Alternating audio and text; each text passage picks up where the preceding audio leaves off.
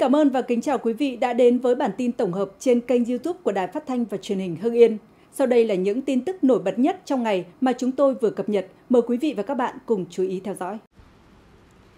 Mới đây, Ban Chỉ huy Phòng chống thiên tai và tìm kiếm cứu nạn tỉnh vừa ra văn bản số 51 về việc bơm tiêu ứng phó với bão số 3 và mưa lũ sau bão. Thực hiện chỉ đạo của Chủ tịch Ủy ban Nhân dân tỉnh Hưng Yên, trưởng Ban Chỉ huy Phòng chống thiên tai và tìm kiếm cứu nạn tỉnh, Ban Chỉ huy Phòng chống thiên tai và tìm kiếm cứu nạn tỉnh yêu cầu công ty trách nhiệm hữu hạn một thành viên khai thác công trình thủy lợi tỉnh, Ủy ban Nhân dân các huyện, thị xã và thành phố khẩn trương thực hiện ngay một số nội dung sau. Công ty trách nhiệm hữu hạn một thành viên khai thác công trình thủy lợi tỉnh vận hành hết tất cả các máy bơm tiêu nước để bơm tiêu nước ứng phó với bão số 3 và mưa lũ sau bão, không để xảy ra úng ngập cho sản xuất nông nghiệp, khu công nghiệp, đô thị và dân sinh trên địa bàn toàn tỉnh. Ủy ban nhân dân các huyện, thị xã và thành phố chỉ đạo các địa phương, cơ quan, đơn vị và nhân dân chủ động nạo vét, khơi thông các vị trí ách tắc dòng chảy, bảo đảm thông thoáng tiêu thoát nước kịp thời trên địa bàn. Sở Nông nghiệp và Phát triển nông thôn thường xuyên kiểm tra, đôn đốc việc thực hiện các nội dung nêu trên, Ban Chỉ huy Phòng chống thiên tai và tìm kiếm cứu nạn tỉnh yêu cầu các cơ quan, đơn vị nghiêm túc triển khai thực hiện. Chủ tịch Ủy ban Nhân dân các huyện, thị xã và thành phố, Chủ tịch và Giám đốc công ty trách nhiệm hữu hạn một thành viên khai thác công trình thủy lợi chịu trách nhiệm thực hiện trước Chủ tịch Ủy ban Nhân dân tỉnh. Ban Chỉ huy Phòng chống thiên tai và tìm kiếm cứu nạn thành phố Hà Nội cho biết, Trận rông lốc xảy ra chiều 6 tháng 9 làm gãy đổ 155 cây xanh, gây thiệt hại về người và tài sản tại khu vực nội thành. Tại quận Hoàng Mai có 8 cây xanh gãy đổ làm một người chết, một người bị thương. Tại quận Hoàn Kiếm có 2 cây xanh gãy đổ làm 3 người bị thương. Tại quận Hai Bà Trưng có 3 cây gãy đổ làm 2 người bị thương, một xe máy bị hư hỏng. Tại quận Hà Đông có 2 cây gãy đổ làm hư hỏng một ô tô 4 chỗ, một ô tô khách. Ngoài ra, quận Cầu Giấy gãy đổ 13 cây xanh, Thanh Xuân 12 cây, Đống Đa 10 cây, Long Biên 10 cây, Thanh Trì 3 cây và Nam Từ Liêm 2 cây. Hiện các địa phương và công ty cây xanh đang tập trung giải tỏa cây gãy đổ, thông tuyến giao thông. Để giảm tổn thất do các loại hình thiên tai gây ra, Ban Chỉ huy Phòng chống thiên tai và tìm kiếm cứu nạn thành phố Hà Nội đề nghị các quận, huyện, thị xã, các sở ban ngành thành phố tiếp tục thực hiện nghiêm các công điện, văn bản chỉ đạo của Trung ương và thành phố, tiếp tục theo dõi tình hình thời tiết, thiên tai, tổ chức trực ban nghiêm túc, chủ động, kịp thời triển khai công tác phòng ngừa, ứng phó, khắc phục hậu quả cơn bão số 3 và ảnh hưởng sau bão, báo cáo kết quả triển khai thực hiện về Văn phòng Ban Chỉ huy Phòng chống thiên tai và tìm kiếm cứu nạn thành phố Hà Nội theo quy định.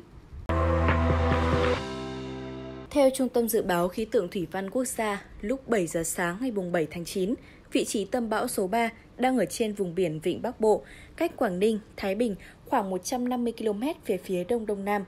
Cường độ bão vẫn đang mạnh ở cấp cuồng phong với sức gió mạnh nhất vùng gần tâm bão cấp 14, 150 đến 166 km/h, giật cấp 17. Bão đang di chuyển nhanh theo hướng Tây Tây Bắc, tốc độ 15 đến 20 km/h. Dự báo đến chiều tối nay, bão số 3 sẽ đi vào đất liền các tỉnh phía Đông Bắc Bộ. Khoảng 19 giờ, cường độ bão còn mạnh cấp 9 đến 10, giật cấp 12. Hiện nay, vùng biển Vịnh Bắc Bộ bao gồm huyện đảo Bạch Long Vĩ và Cô Tô có gió mạnh cấp 9 đến 11, vùng gần tâm bão đi qua cấp 12 đến 14, giật cấp 17, biển động dữ dội. Vùng ven biển từ Quảng Ninh đến Thanh Hóa có gió mạnh cấp 6 đến 7, sau tăng lên cấp 8 đến 9, vùng gần tâm bão cấp 10 đến 12, giật cấp 14. Khu vực sâu trong đất liền phía Đông Bắc Bộ có gió mạnh cấp 6 đến 8, giật cấp 9 đến 11, thời điểm gió mạnh nhất trong khoảng từ sáng đến chiều tối nay. Từ ngày 7 tháng 9, bão sẽ ảnh hưởng đến các tỉnh phía Bắc Bộ gây gió mạnh, mưa lớn. Lượng mưa phổ biến từ 100 đến 350 mm, cục bộ có nơi trên 500 mm. Nguy cơ cao xảy ra ngập lụt tại các đô thị, vùng thấp trũng, sạt lở đất, lũ quét ở Trung Du và miền núi. Để đảm bảo an toàn tính mạng và tài sản của nhân dân, Thủ tướng yêu cầu các bộ ngành địa phương tiếp tục triển khai thực hiện quyết liệt, nghiêm túc, có hiệu quả chỉ đạo của Thủ tướng tại các công điện số 86 ngày 3 tháng 9 và 87 ngày 5 tháng 9, tập trung ưu tiên bảo đảm an toàn tính mạng và tài sản cho người dân và nhà nước.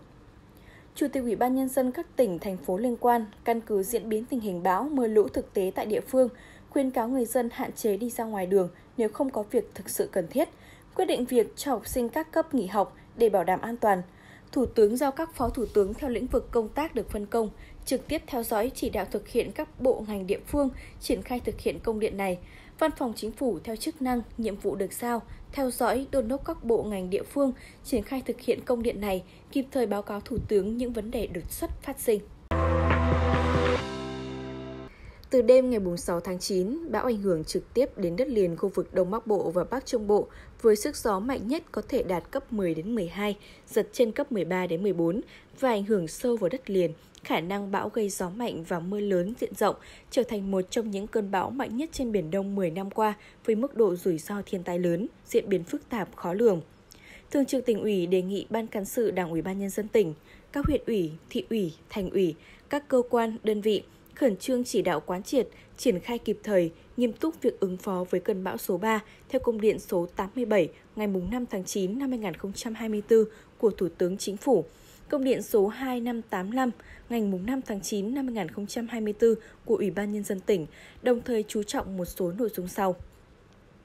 1 tập trung lãnh đạo, chỉ đạo, tổ chức kiểm tra, đôn đốc, triển khai ứng phó khẩn cấp bão số 3 năm 2024 với tinh thần phải chủ động phòng ngừa, ứng phó ở mức cao nhất để bảo đảm an toàn tính mạng, nhất là trẻ em, người già và các đối tượng yếu thế, hạn chế thấp nhất thiệt hại về tài sản của nhân dân và nhà nước.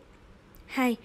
Đình hoãn các cuộc họp không thật cấp bách để tập trung lãnh đạo, chỉ đạo ứng phó với cơn bão số 3, huy động cả hệ thống chính trị vào cuộc – phân công trách nhiệm cụ thể cho từng cơ quan, đơn vị và cá nhân liên quan trong công tác lãnh đạo, chỉ đạo triển khai, đồn đốc, kiểm tra công tác phòng chống bão lũ, trong đó tập trung bảo đảm an toàn tính mạng cho người dân tại các khu vực nguy hiểm, nhất là trên lồng bè, tròi canh nuôi trồng thủy sản, tàu thuyền tại nơi tránh trú, khu vực có nguy cơ ngập sâu, nước dâng, mưa lũ, khu vực có nguy cơ sạt lở không bảo đảm an toàn, kiên quyết không để người dân ở lại khu vực có tiềm ẩn nguy hiểm khi bão ảnh hưởng trực tiếp, trường hợp cần thiết phải chủ động cưỡng chế di rời để bảo đảm an toàn tính mạng, tài sản cho người dân.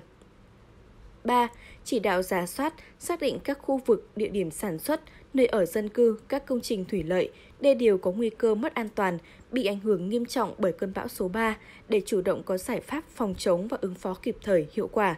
bảo đảm vận hành có hiệu quả hệ thống thủy lợi, kênh mương, trạm bơm và các cống tiêu thoát nước, không để ngập úng ở khu vực sản xuất, dân cư, khu công nghiệp, cụm công nghiệp ảnh hưởng nghiêm trọng đến sản xuất và đời sống của nhân dân, doanh nghiệp do mưa lớn trong và sau bão, khẩn trương giả soát, nạo vét, khơi thông dòng chảy các kênh mương, phát hiện và xử lý kịp thời các sự cố đê điều, hệ thống thủy lợi.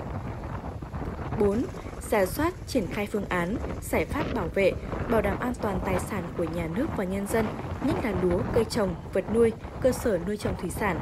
5. Thực hiện phương châm 4 tại chỗ, bố trí, phân công cán bộ, lãnh đạo của cơ quan, đơn vị ứng trực 24 trên 24 giờ để chủ động ứng phó với diễn biến phức tạp của cơn bão số 3, chủ động huy động bố trí đủ lực lượng, phương tiện, ngân sách và các nguồn lực để thường xuyên ứng trực 24 trên 7 và kịp thời ứng phó với bão lũ, ngập úng và khắc phục hậu quả xảy ra, triển khai thành lập các đoàn kiểm tra và xây dựng kế hoạch, phân công nhiệm vụ cụ thể cho từng thành viên trong thực hiện công tác phòng chống bão số 3.